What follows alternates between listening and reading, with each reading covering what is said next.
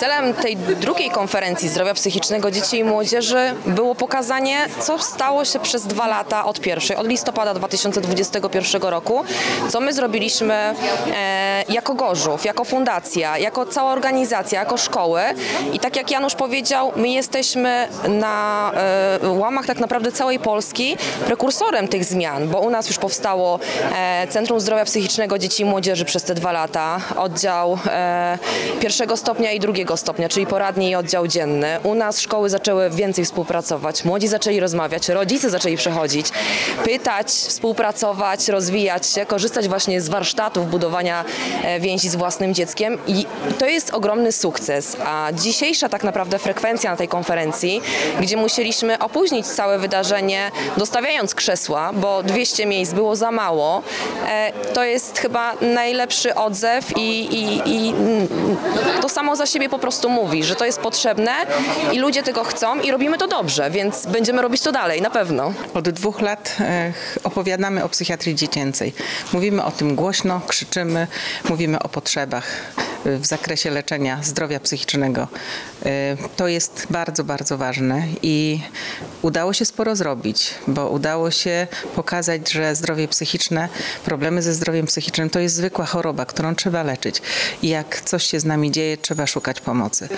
E, Kilka konferencji, kilka warsztatów.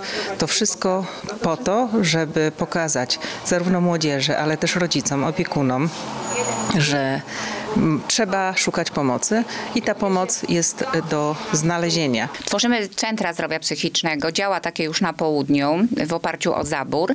Tutaj niestety na północy nie udało nam się jeszcze, yy, ale mam nadzieję, że taką zgodę w końcu dostaniemy i akredytację. Na razie jest otwarta yy, poradnia przy ulicy Walczaka.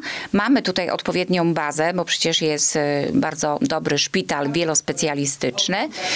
Kształcimy też na studiach podyplomowych psychologów klinicznych, którym wypłacamy stypendia, ale też e, płacimy specjalne e, stypendia dla absolwentów medycyny, którzy wybierają psychiatrię dziecięcą, bo no, możemy liczyć tylko na własne zasoby i jeżeli mamy kadrę, no to wtedy takie warunki spełniamy i możemy tworzyć centra zdrowia psychicznego. Oczywiście jest potrzebna zgoda ministra zdrowia.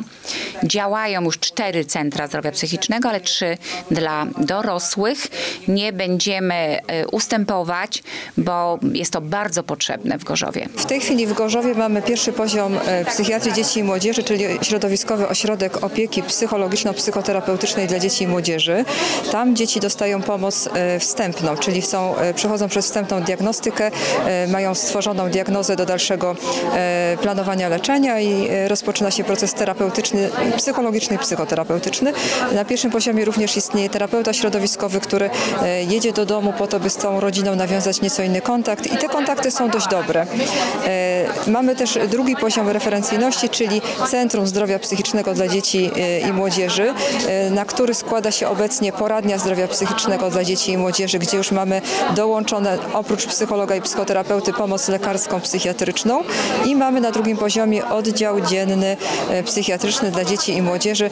On jest 15-osobowy, więc mały, no ale od czegoś trzeba zacząć. W dużych miastach dzisiaj, żeby dostać się do psychiatry dziecięcego, czasami trzeba czekać kilka miesięcy, a i tak płaci się za wizytę 600 zł. To jest z jednej strony patologia, ale z drugiej mówi nam to o tym, że, że ludzie szukają pomocy, że rozmawiają, że młodzi coraz częściej e, nawiązują kontakt z rodzicem, który pozwala im później sięgnąć po pomoc. Natomiast wiem, że często w e, mniejszych miejscowościach gdzieś w Polsce, okej, mówi się o tym w przestrzeni publicznej, ale gdy ten e, problem pojawia się w domu, no to jest milczenie, jest często nie, z jednej strony utrudniony dostęp do specjalisty, ale często jednak temat tabu i wstyd, by opowiedzieć w swoim otoczeniu o tym, że, że korzysta się z pomocy.